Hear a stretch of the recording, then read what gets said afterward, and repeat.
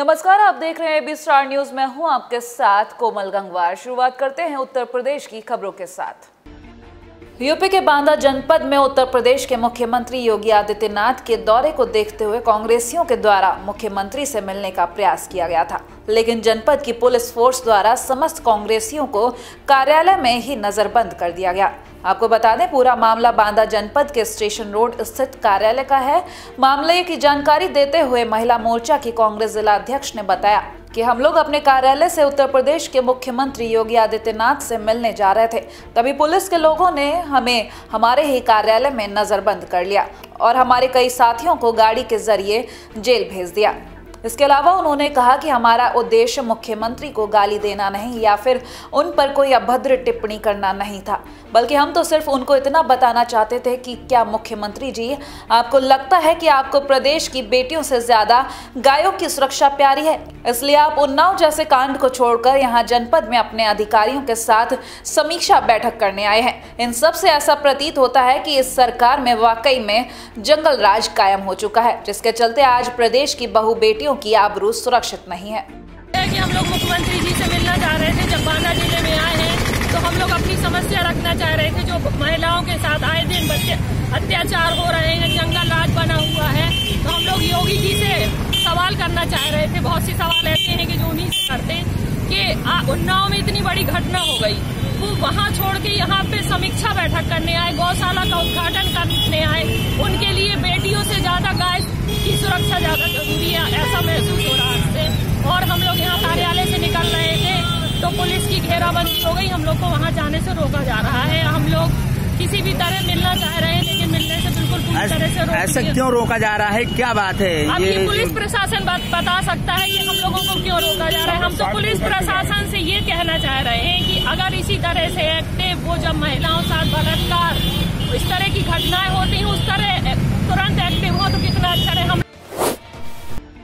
UP के अयोध्या में विकास खंड बीकापुर के ग्लोबल इंटर कॉलेज सोनखरी में रविवार को इस्लाम और समाज सेवा विषय पर विचार गोष्ठी का आयोजन किया गया और तमाम गरीबों में कंबल बांटे गए। इस कार्यक्रम का आयोजन सामाजिक संस्था फलाहुल मुस्लिमीन सोनखरी द्वारा किया गया था। इस दौरान आपसी भाईचारा सौहार्द की मिसाल देखने को मिली। कार्यक्रम में महान समाज सेवी विकास खंड मसोधा पंचम से जिला पंचायत सदस्य प्रवेश कुमार वर्मा, राम जन्मभूमि के मुख्य पुजारी आचार्य सत्येंद्र दास और बाबरी मस्जिद के पक्षकार रहे। कार्यक्रम को संबोधित करते हुए उप जिलाधिकारी लव कुमार सिंह ने कहा कि जाति और धर्म कोई हो, सबसे बड़ी मनुष्यता होती है।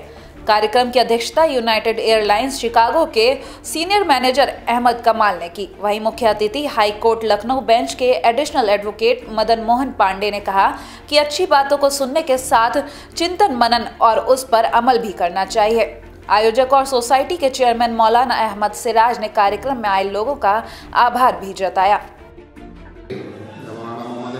बताएँगे तकरीबन पंद्रह साल से ये चल रहा है। और हर साल जो है ये कंबल पहले लिहाफ दिया जाता था। अब लोगों की ख्वाहिश थी तो इसलिए कंबल वितरण किया जाता है। आज हमने तकरीबन मेरा अंदाज़ा है कि 500 से ऊपर कंबल बांटे हैं। अब अभी इसमें जो लोग बच जाएँगे, बहुत सी पर्चियाँ ऐसी हैं जो नहीं आई हैं तो वो आएँगे, वो तो फिर बढ़ती रहेंगी। लेकिन अंदाज़ा ये है कि 500 से 700 कंबल जो है वो बढ़ जाते हैं गरीबों में। बहुत ही जो है वो लखनऊ में All India Shia Personal Law Board के अधिवेशन में मौलाना यासूब अब्बास ने एनआरसी को लेकर एक बड़ा बयान दिया है। उन्होंने कहा कि एनआरसी मॉब लीचिंग पर और शिया सुन्नी बख बोर्ड एक करने पर चर्चा की जा रही है और उन्होंने कहा कि हम एनआरसी के खिलाफ नहीं हैं, मगर उनकी मांग है कि एनआरसी पर सरकार एक बार पुनर्विचार करे। इसके अलावा मौलाना ने कहा कि हम अल्पसंख्यक के अंदर के अल्पसंख्यक हैं, जितना जुल्म शिया समुदाय पर हो रहा है, उतना किसी और पर नहीं। शिया को अफ़गानिस्तान में और पाकिस्तान में मारा जा रहा है। वहीं शियाओं के लिए कैनेडा ने दरवाज़ा खोल दिया है और पनाह देने का काम कर रहा है। क्या हिंदुस्तान सरकार शियाओं के लिए दरवाज़ा नहीं खोल सकती है? वहीं एनआरसी पर पुनर्विचार के लिए वो प्रधानमंत्री और भाजपा अध्यक्ष को पत्र भेजेंगे।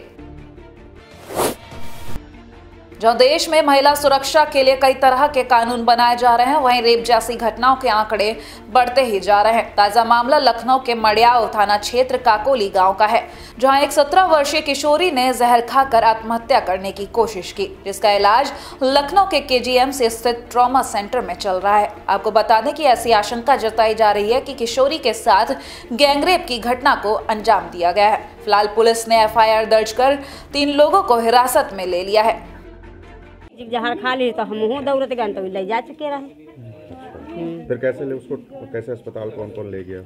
अब हम हम यूँ तो नहीं देखे मगर जब हम गए तो ले जा चुके रहे। अच्छा। हाँ। पुलिस भी आई थी? पुलिस रात में जान पर यही रहे तो तीन लोगन के ले गए है।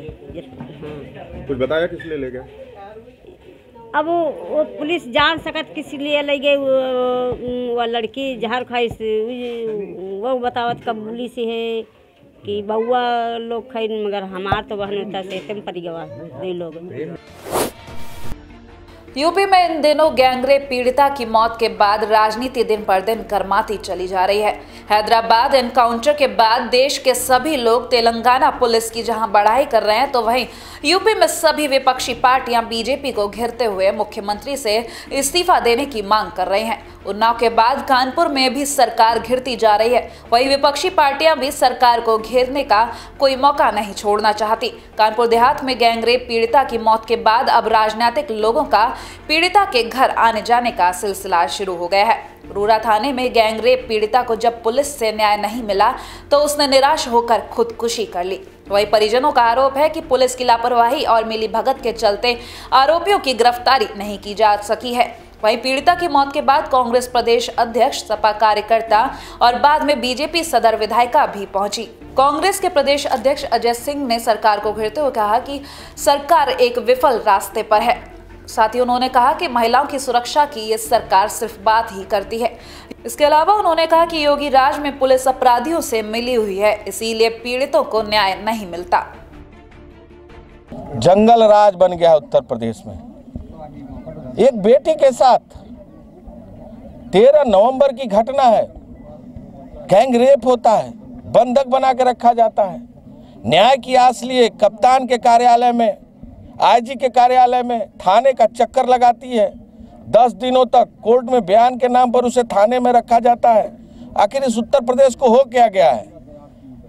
उत्तर प्रदेश के मुख्यमंत्री को जवाब देना होगा कि वो अपराधियों के साथ खड़ी है कि महिलाओं के साथ खड़ी है, जिनके साथ इस तरह की घटना हो रही है। आज लड़कियाँ जला दी जा रही हैं। तेरह नवंबर से लेकर आज तक न्याय की आस में एक बेटी रोज रोज तमाम अधिकारियों के घर में चक्कर लगा रही मुख्यमंत्री को उन्होंने पोर्टल पर लिखा, फिर भी कार्रवाई नहीं की। मुख्यमंत्री जी, आज झारखंड, मध्य प्रदेश, कर्नाटक जाकर भाषण देते हैं। उत्तर प्रदेश संभल नहीं रहा। क्या हुआ है आज? आज घर की बेटियाँ बहने निकलने में अपने आप में डर में, डर का माहौल है। वहीं सपा भी राजनीति करने में पीछे नहीं रही। अखिलेश यादव ने तीन सदस्य टीम पीड़िता के घर में भेजकर उनका हाल चाल जाना। आपको बता दें, कानपुर नगर के एमएलए अमिताभ वाजपेयी और एमएलसी दिलीप यादव ने कहा कि सरकार पीड़ितों को कोई न्याय नहीं दे पा रही है, सिर्फ़ बातें ही कर रही है। पुलिस आरोपियों के साथ मिली हुई है। पुलिस ने जब मुकदमा लिखा तो उसने आरोपियों पर कार्रवाई क्यों नहीं की? वही उन्होंने कहा कि पीड़ित परिवार को यूपी सरकार की तरफ़ से 50 लाख रुपए और एक मकान मिलना चाहिए। ये मुद्दा विधान परिषद और विधानसभा में भी उठाया जाएगा। हम लोग दुखी हैं कि उसी तरह से एक बड़ी घटना ये कानपुर देहात में भी हुई, जिसमें पीड़िता ने मजबूर होकर के आत्महत्या कर ली।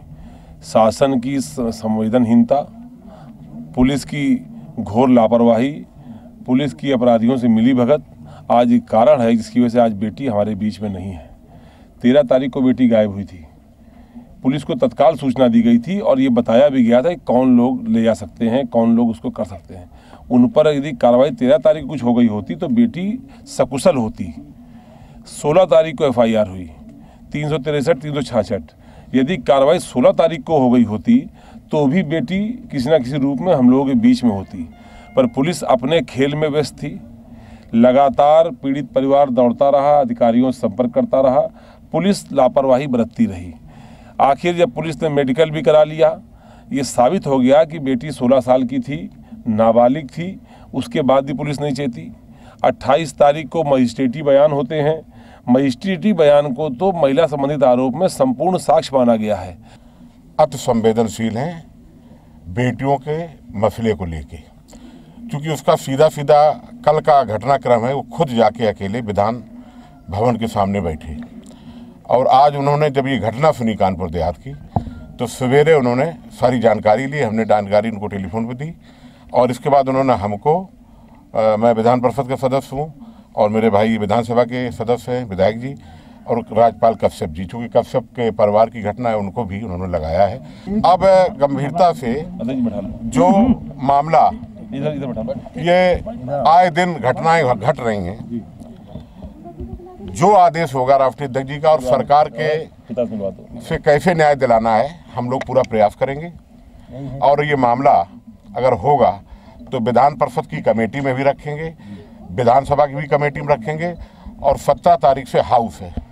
हाउस में भी सारे मामले हम लोग उठाएँगे और लेकिन वहीं मृतका के पिता का कहना है कि सबसे पहले थाना पुलिस को सस्पेंड किया जाए उसके बाद सीओ अकबरपुर अर्पित कपूर को क्योंकि सीओ को मामले की पूरी जानकारी थी। बावजूद इसके भी कोई कार्रवाई नहीं की गई। एसपी गाँव तक आए और हम लोगों से नहीं मिले। पहले थाना सस्पेंड हो। फिर? फिर इसके बाद सीओ उसने भी कोई कार्रवाई नहीं की मैं वहाँ भी गया। सीओ को जानकारी थी सीओ भी हिरावली करते रहे उसकी लापरवाही है? जी। अच्छा अधिकारी आए थे कोई? अधिकारी एसपी साहब आए थे सर थोड़ी देर रुके आप लोगों से कोई बातचीत हुई? कोई बातचीत नहीं हुई वो देख के चले गए? देख के चले गए। क्या आरोपी जो अभी आरोपी फरार है, वो पकड़ा गया अभी नहीं पकड़ा गया। मुझे जान मान के खसरा है। उसके घर के बगल में मकान है। घर के बगल में मकान मेरा है। पुलिस कोई सुरक्षा मुहैया कराई अभी तक? नहीं शिक्षा मुझे कोई नहीं। फ़िलहाल के लिए इतना ही। देश और दुनिया की तमाम खबरों के लिए देखते रहिए बी स्टार न्यूज़। नमस्कार।